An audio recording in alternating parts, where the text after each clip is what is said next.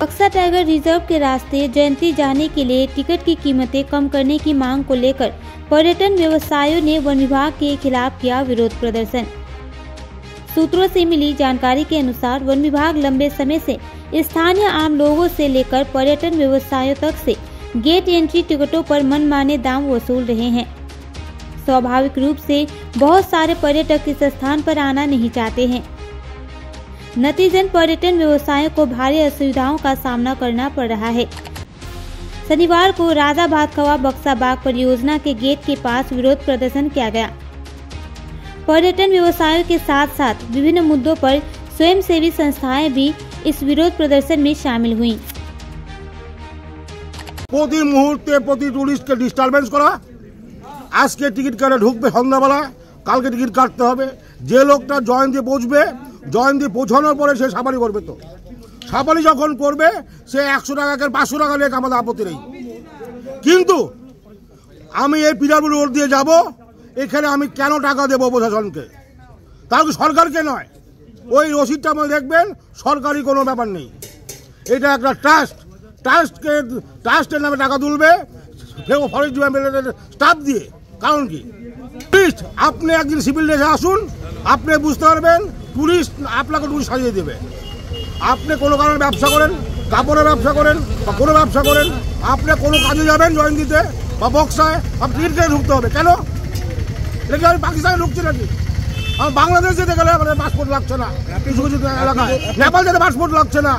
আমার বাবা ভুটান যেতে পাসপোর্ট লাগছে না। হরে যেটা পাসপোর্টের মতো অবস্থা। আপনি- বলতে চাচ্ছেন আলিপুর জেলার মানুষকেও ট্যুরিজম বানিয়ে দিচ্ছে। আলিপুর এমনকি রাজাভাত কর মানুষকে টুরিজম সাজিয়ে দিচ্ছে এই ফরেস্ট ডিপার্টমেন্ট আপনারা চাইছেন যে স্থানীয়দেরকে অবাধ আর যাতায়াতের জন্য অনুমতি আমার দেওয়া হোক। যত থাকুক রাজাভাত যেখানে টুরিস্ট স্পট হবে যেখানে মানুষ সাফারি করবে ওখানে টিকিট কাটুক আমাদের কোনো আপত্তি নেই।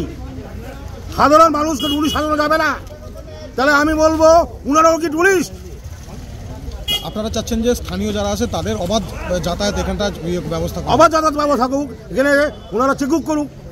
আমরা কোনো অবৈধ মালপত্র নিয়ে যাচ্ছি কিনা অবৈধ মাল নিয়ে আসছে কিনা গেট থাকুক আমাদের আপত্তি নেই। টিকিট কেন কাটতে হবে? আপনার নাম? আমার নাম দীপঙ্গ তালুকদার। কি কি আপনি কি কাজ আমি একজন বজ্রলেমের ব্যবসায়ী। Ranjit Ghosh Dooars day celebration committee কালচিনির পক্ষ থেকে এখানে উপস্থিত হয়েছি। একটা ইনভাইটেশন ছিল যে বক্সার আজকের এই রাজাবাদ খাওয়ার ফরেস্ট দপ্তরের গেটে বক্সার, সাধারণ মানুষ এবং আশপাশের অনেক ছোট ছোট সংগঠন যারা এখানে উপস্থিত হবেন।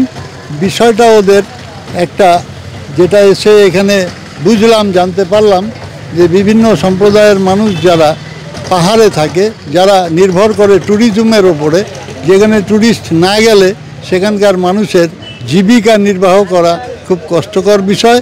এই মুহূর্তে একশো দিনের কাজের টাকা বন্ধ। বিভিন্ন পয়সা করি যেগুলো সরকারিভাবে সাহায্য, সেটা সঠিকভাবে তারা পাচ্ছে না।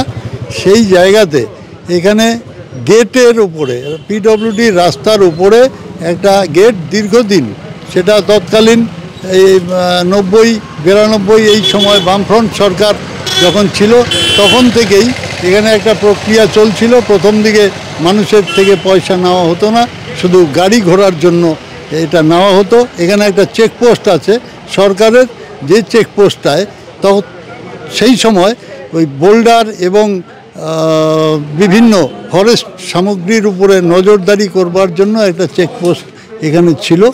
সেই চেকপোস্টটা সেই মোড়টার মধ্যে আপাতত পিডব্লিউডি রাস্তার উপরে একটা গেট করে সেখানে গাড়ি এবং ট্যুরিস্টের মধ্যে মানুষকে একটা পয়সা দিয়ে ভেতরে ঢুকতে হচ্ছে। তো সেখানে যদি বাধা বিপত্তি থাকে, তাহলে ট্যুরিজম ট্যুরিজম যেটা রয়েছে সেটা ক্ষতিগ্রস্ত হবে। সেই সুবাদে এই গেট নিয়ে এখানকার কর্তৃপক্ষর সঙ্গে যারা এখানে কালেকশনটা করছেন, সেটা নাকি সরকারি কালেকশন সরকারি জায়গাতে নেই। এটা একটা ট্রাস্টের মাধ্যমে এই কালেকশনটা হয়ে থাকে। সেই জায়গাটায় একটা সাধারণ মানুষের দাবি যে এই গেট যেটা মানুষের থেকে পিডব্লিউডির রাস্তা আটকে দিয়ে যে পয়সাটা সংগ্রহ করা হয়, সেখান থেকে ট্যুরিস্ট আসতে বা এখানকার ট্যুরিজমের ওপরে যে বিষয়, সেটা ক্ষতিগ্রস্ত হচ্ছে। সেই জায়গাতে একটা সমাধান তারা চাইছে। আমরা এখানে এসে যেটা জানলাম এবং এই ধরনের যে বিষয়টা নিয়ে আজকে, এটা সমর্থনযোগ্য। কেন সাধারণ মানুষের জীবিকার যেহেতু কথা তাই আমরা এটাকে হ্যাম- Kalchini block Dooars day celebration কমিটির পক্ষ থেকে এটাকে সমর্থন জানাই। আমার নাম রঞ্জিত ঘোষ সভাপতি Dooars day celebration committee Kalchini block.